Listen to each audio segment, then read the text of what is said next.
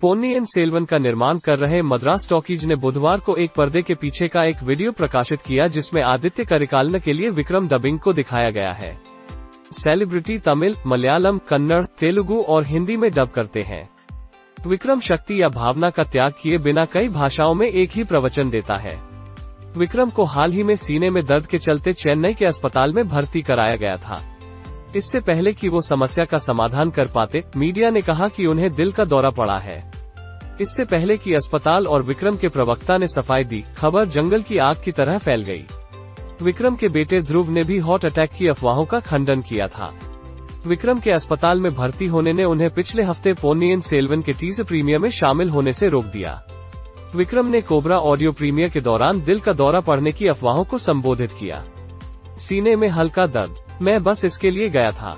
अति प्रवाहित। अच्छा। जब तुम वहाँ हो तो मुझे कुछ भी नुकसान नहीं पहुँचा सकता।